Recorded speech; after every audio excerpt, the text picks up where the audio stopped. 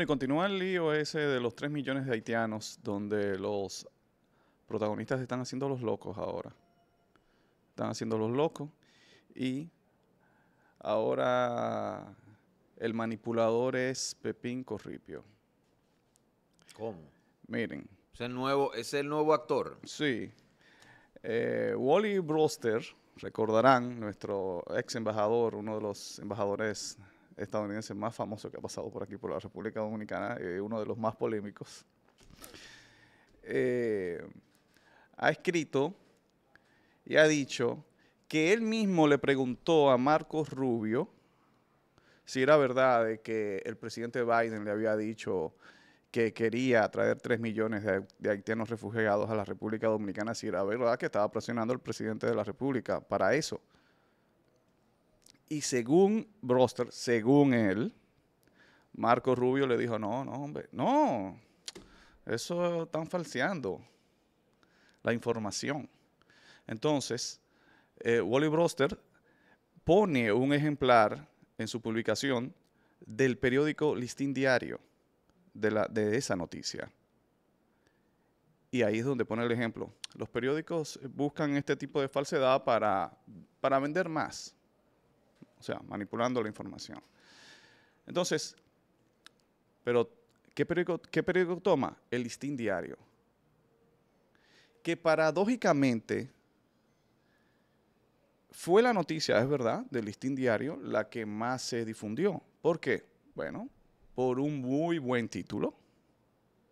Un muy buen título que no se alejaba de la verdad, sino que decía el título del, del Diario. Vamos a buscarlo para que ustedes vean.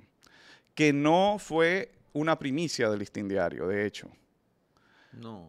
No fue una primicia del Listín Diario, sino fue el mejor título de la noticia y por eso se difundió más. Miren cómo ellos titularon. Dice, Marcos Rubio afirma que Biden quiere República Dominicana acepte 3 millones de haitianos. Sencillo. Entonces, cuando te vas a la fuente, esto es un artículo del propio Marcos Rubio que escribió para el Diario Libre, señores. Es decir, un senador de los Estados Unidos escribe un artículo en un periódico local y este periódico no se aprovecha de eso para sacar, sacar capital frente a su competencia. Tengo un artículo de un senador con un tema, tema preocupante en la República Dominicana. Vamos a ponerle un buen título y vamos a pagarle publicidad incluso a esa noticia. No, como bajo perfil ahí. Entonces el listín diario, pero esto es una noticia, es una notición. ¡Pam! Primera plana. ¿Me entiendes? Entonces, ok, todos sabemos muy bien, ¿no? Eh, la línea editorial de Diario Libre, que se maneja, se maneja, se maneja. Pero entonces, también todos sabemos que Pepín Corripio y Luis Abinader no es que están en las mejores re relaciones. Ahora, Pepín Corripio está haciendo lo que debe hacer, o sea, lo que debe hacer un periódico. No, dar información. Dar la información. Además, tú vas donde Pepín Corripio y dices, mira, no, ellos tienen, los, los, los, pero los directores de medios, de cada medio, ellos tienen carta blanca. Y es verdad que le da carta blanca. Sí, sí. Él es no verdad, se mete es con verdad. ellos. Yo hice mi pasantía en el Nacional y, y realmente es así. Es carta blanca. Y ahí tú- eso es así, es una política de Pepín Corripio. No, y ahí es una fauna que hay ahí con una diversidad Sí, terrible. El sí. comunista más radical con el ultraderechista más radical de los periodistas. Eso es así. Y él no se mete en eso, pero bien. así. Ahora, eh, Marcos Rubio, oye, ¿cómo le responde así a, a Wally Brewster? Si es cierto, bueno, no creo que eh, este embajador ¿verdad? vaya a escribir en sus redes sociales. Yo hablé, yo hablé con Marcos Rubio y él me dijo que no, que eso era mentira. Pero coño, está escrito. Lean el artículo de Marcos Rubio en el, en el Diario Libre, tal cual tal cual dice Biden, está, Biden por presiones de Amnistía Internacional ha instado al presidente de la República Dominicana para que acepte 3 millones de refugiados haitianos. Eso está, eso está clarísimo. Sí. O sea, ¿qué falsedad hay ahí? ¿Qué manipulación hay ahí? No, no hay ninguna manipulación. Y recuerda que aquí dijimos, eh, eh, tan pronto se hizo ese comentario eh, de, de Marcos Rubio, aquí grabamos un corte, y donde dijimos que también se la ponía difícil al presidente porque tenía que manejarse, porque le tendió, le, le- tiró su flor al presidente. Él dice que tiene una política migratoria fuerte, de mano dura, y que el presidente Abinader tendría que manejarse con eso. Porque ahí cómo desmentiría al señor Marco Rubio. Entonces, ese artículo está de lo más interesante. Ahí no está mintiendo nadie. Ahí, bueno, Ahí no está mintiendo él. Abinader respondió en la semanal. ¿Y qué dijo Abinader? Como tú dijiste, muy delicadamente le Muy respondió a Marco Rubio. pues, lo que yo te De que digo. gracias por la preocupación. Claro, es que, es que eso es lo que correspondía. Gracias por la preocupación, ta, ta, ta, ta, ta, ta. Pero Pero, no. lo que está diciendo Marco Rubio es verdad. Pero 3 millones es poco, Maracayo. Tres millones aquí ya. 3 millones aquí. El, el dato sería 3 millones más. Mm. Yo creo que yo creo que el yo creo que Wally Brewster está ayudando a su partido y está haciendo un trabajo político. Que el trabajo político muchas veces incluye eh, el tema de tergiversar las cosas. Pero ven acá, salió recientemente un informe del Departamento de Estado donde nos trata, no es de colonia, no, no, es como, como hormigas diciendo que tenemos en situación de apatridia a los ciudadanos haitianos, eh, que lo tenemos desnacionalizado. Todo el, el trillo, ese trillo que conocemos ya, todo eso, de todo eso hace despliegue el Departamento de Estado en su más reciente informe sobre el tema de las de- deportaciones de ciudadanos haitianos. Entonces, eh, no hace falta que Wally Brewster lo desmienta. Cuando las acciones las vemos aquí, ¿no? La- las tenemos en la cara, a diario, eh, vemos cuáles son las diferentes presiones de organismos adscritos, ya sea a la ONU, ya sea al Consejo eh, Foráneo de Relaciones, de relaciones eh, como, como es el que está escrito ahí, eh, todas esas organizaciones eh, que trabajan con Estados Unidos, pues claro que sí. Y yo me atrevería a decir que es una política que es transversal incluso a los, a los demócratas. También lo hacían los republicanos. Solo que a Donald Trump no le interesa mucho el tema de esas de, injerencias de esa manera. A él no le interesa mucho. Él no, él no, él no, él no financia, de hecho, cuando él llegó al poder, recortó sensiblemente el financiamiento de las ONGs. Lo recortó sensiblemente. Tiene, otra, tiene otro enfoque. Él es más proteccionista, él es un halcón imperial, él tiene otros métodos que no son los de los demócratas, inclusive que no son los de los republicanos clásicos. O sea, tú no puedes pensar que Donald Trump es igualito que un George Bush. Ni el padre ni el hijo, para nada, nada No, que no, es que Donald Trump ver. Nada que ver. es un neo-republicano. sí, es un, neoco- un neoconservador, No sé. neo, neo, neo todo. Es una clasificación única. Es ahí un en- ave rara. Entonces, es un ave rara. Entonces, yo, yo, yo no necesito, José Maracayo, que Wally Brewster lo aclare. Wally Brewster lo que está haciendo es un trabajo político. Ahora, es un trabajo político para que no le, porque, ah, que no le afecte a Joe Biden. Pero tiene demasiados problemas los gringos ahora mismo, José Maracayo. Los, los gringos tienen demasiados problemas que miren para allá. Están metiendo, oye, están entrando a la universidad y están metiendo presos a los que protestan contra Israel, por ejemplo. Están metiendo presos, como en los 60, a los que defienden a Palestina, presos. Tengo un amigo que lo cancelaron, profesor de una universidad en Nueva York, de una universidad pública en Nueva York, y fue cancelado por luchar a favor de Palestina. Entonces, tiene demasiado problema para usted estar jodiendo con uno. bueno, lo que pasa es que los demócratas quieren, quieren Haití, lo quieren, pero quieren, no, no quieren pagar el costo. Claro. ¿Mm? Ellos quieren... Quiere, quiere, quieren lo que hay en Haití, pero no quieren a sus no. habitantes. No, exacto.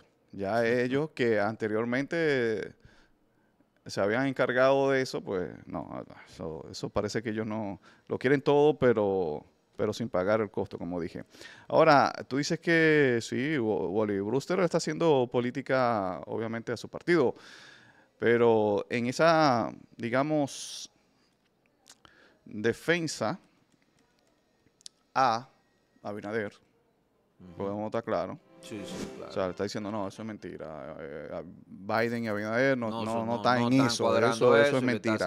el- Pero mira lo que dice, eh, que si lo hubiese pensado un poco mejor, no escribe esto. Pero los gringos, los gringos no conocen la política de ningún país. Miren, dice, eso es una narrativa buena para los pro-Trump, anti-haitianos, anti-americanos, nacionalistas dominicanos. ¿Quién dijo eso? Wally. Wally Broster. Pero es lógico que diga eso. Pero eso no le conviene a Abinader. Claro porque no. entonces le está diciendo a Abinader Claro. que Abinader no es nacionalista dominicano, que Abinader no es anti-haitiano. Cuando Abinader sabe muy bien que está montado en esa política, en esa doble moral que él tiene. Claro. No, no, fuerte con los haitianos, mano dura con los haitianos, cierro frontera, nacionalista. Y ahora dice Wally Le Brewster. está, le está, le está. No, lo que Los pasa es- nacionalistas le- para Wally Brewster son entonces los eh, otros. Ya. Wally lo que le está, lo que- tú sabes qué es lo que pasa, Wally le está mandando una orden ahí. Está, está diciendo qué es lo que hay que hacer y cuál es la consigna del Partido Demócrata. Eso, claro, eso lo ¿Cuál es la consigna del Partido Demócrata? No naciones, o sea, no nacionalista, antisoberanía, desmontar todo tipo de identidad propia que tenga un pueblo y exportarles la mía. Eso es. Eso es sencillamente lo que está diciendo ahí Wally Brewster, que es lo que tú dices. Di que, lo ayuda, pero lo jode. Al final del día lo jode. Pero eso no es adrede. Eso es adrede que lo hace. Porque estamos hartos de decirlo, Maracayo. A bueno que le pase al presidente también. Y estoy casi diciendo, está bueno que le pase por lambón. Porque, ¿para qué usted se pone a estar invirtiendo cuarto en la campaña de Donald Trump? ¿Para qué se metieron en eso? No, y además, Abinader, bueno, Abinader tiene mucho que agradecerle a Trump. Sí, sí, tiene que agradecerle, pero hay que, ay, pero hay que guardar la forma. Claro que tiene que agradecerle. Oh, Pero es que- pero hombre, que su Abinader- no- no secretario- entiendo. Su secretario de Estado vino aquí a la juramentación de él. Sí. Su secretario de Estado vino aquí a la juramentación. Tú sabes lo que es que venga tu secretario de Estado. Y esa famosa llamada Sí. a Danilo. No, claro que tiene mucho que agradecerle. Sí, pero inmediatamente salió del poder, cambió de bando, compadre. Claro que cambió de bando. Tuvo que, tuvo que, Cambió de bando. tuvo que decirle ahora, Yeser, qué barato me estás. Dirá, dirá, dirá Biden, qué barato me están saliendo estos dominicanos. Ahora, nosotros, cuando salió la noticia de los 3 millones que Biden está presionando al presidente Abinader para que reciba una República Dominicana, recuérdate que nosotros, esto seguramente lo va a desmentir el presidente de la República, va a decir que eso es mentira, y de la embajada van a decir que, que no, que Biden no, habló, no ha dicho eso, que Biden respeta la soberanía nacional, cuento. Evidentemente, eso es lo que ha salido todo en estos, todo est- todos estos días, porque la embajada también lanzó un comunicado que respeta la soberanía, la soberanía nacional, que no se mete en eso. Y um, dijimos que, claro, eso es lo que tienen que decir. ¿Por qué?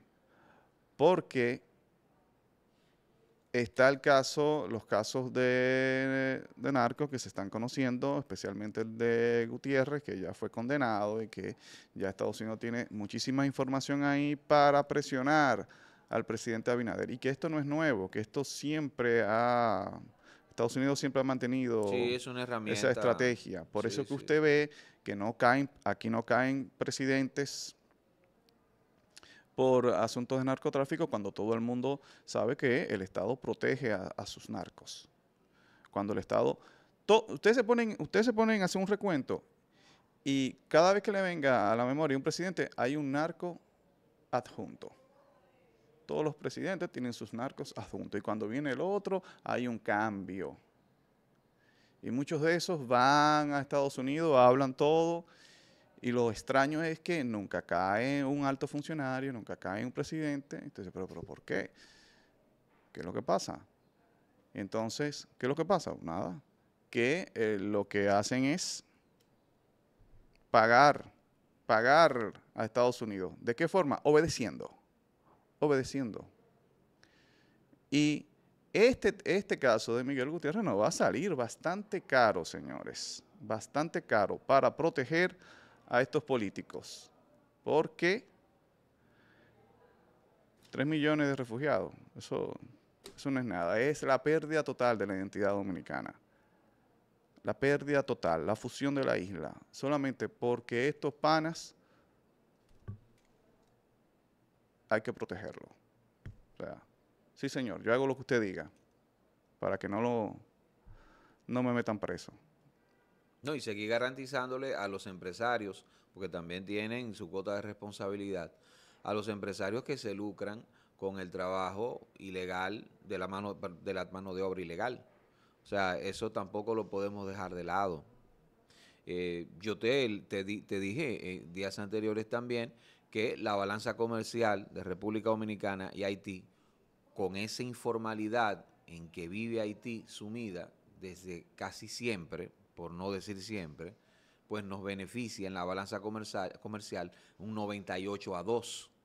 Entonces eso no lo podemos dejar de lado. Los empresarios también se ven muy beneficiados con este tema de una balcanización de República Dominicana. Señores, pero a eso están acostumbrados los, los demócratas. Cuando hablo de balcanización, la gente quizás no, no lo entiende. Cuando yo hablo de balcanización, hablo de que en el año, entre los años 1992 de ahí en adelante, digamos hasta el 95, 96, quizás hasta el 97, pues se produjo una suerte en Europa, en esa Europa oriental, de, desintegración de lo que se llamaba la antigua Yugoslavia, que estaba integrada, entre otras, por naciones como Croacia, Serbia y Herzegovina, eh, eh, Eslovenia y otras, ¿no? Cada una se fue independizando pero eso no fue gratuito, eso, se fue, eso fueron generando conflictos armados terribles, con miles de muertes.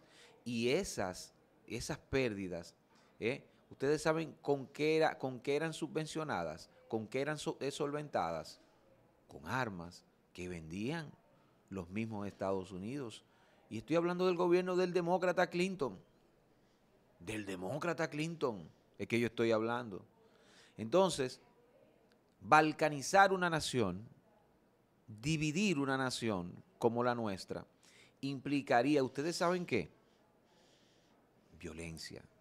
Lamentablemente implicaría violencia.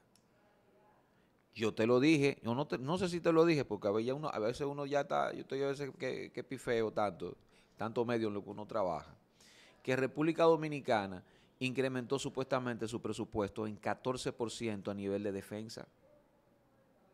En 14%. ¿Y tú sabes cómo yo me entero de eso? Porque una organización que se dedica a, auditar los presupuestos de defensa de cada país, pues nos los sacó en cara allá en una convención que tuvieron en Copenhague, en la capital de Dinamarca y donde nos retrata a República Dominicana como que nos estamos armando en defensa para combatir a las bandas haitianas. O sea, nos están enrostrando en la cara que nosotros vamos a intervenir en el conflicto haitiano, cuando no, ya estamos metidos ahí. ¿Tú estás entendiendo? O sea, no es necesario que Valibruster tenga que decir esa cosa. No es necesario ni siquiera que lo diga Marco Rubio, porque la realidad es que nos están cercando como país, desde todos los organismos habidos y por haber que manejan los Estados Unidos. Porque recordemos, Estados Unidos no solamente maneja y ve como patio trasero al, resto, al, resto, al resto de América. Europa está en sus bolsillos. Europa completa está en sus bolsillos. Inglaterra está secuestrada. A excepción de Eurasia, de, de Eurasia, que es lo que representaría, por ejemplo, realmente eh, Rusia. Pero sí, como tú dices, Inglaterra está secuestrada, ese otro empleado, ese otro peón. Un peón, un peón con, con mucho presupuesto, pero un peón al fin. Entonces, eh, todas esas organizaciones, José Maracayo, están alineadas en contra nuestra para que abramos nuestras fronteras definitivamente. Coño, tú sabes lo que es. Bueno, uno tiene que reconocer, José Maracayo, que tiene más de 20, 25 años, gente como Consuelo de Pradel, hablando de esto. Uno no lo creía. Y solo hasta el último año y medio, dos años, es que uno está abriendo los ojos de verdad. Y lo ve tan claro cuando quizás es muy tarde ya. Cuando quizás ya, ya es muy tarde. De, es muy fuerte. Claro, que fuerte. y más cuando tú ves las propuestas de estos candidatos a senadores, a presidente, cuando le tocan el tema haitiano, no tienen ninguna. No, no tiene ninguna. Reforzar la, reforzar la, frontera, hacer cumplir la ley. Ya, próxima pregunta. Hablando mierda ahí. Wow. ¿Cómo que tú vas a acabar con el negocio de los militares? ¿Cómo es? Dime, ¿qué es lo que tú vas a hacer? ¿A quién hay que meter preso? ¿Qué cabeza que tú vas a romper? Es eso lo que hay que hacer. Son, son de señores. Eh, estas son circunstancias especiales y yo le creo a, nuestro entrevistado hace una semana ya, más de una semana, eh, el general Soto Jiménez, cuando dijo que esto es un tiempo ya más de guerra fría que otra cosa, pero en la guerra fría la sienten los países grandes, pero nosotros, los pequeños, los actores de reparto, somos los que cogemos candela y somos los, muñequitos, somos las ratas de laboratorio de esos grandes. Así que vamos a ponernos en esto. La quinta pata, José Maracayo, Edwin Cruz. Recuerden suscribirse, activar campanita, darle a me gusta y, por supuesto, la cajita de comentarios. Está por ahí.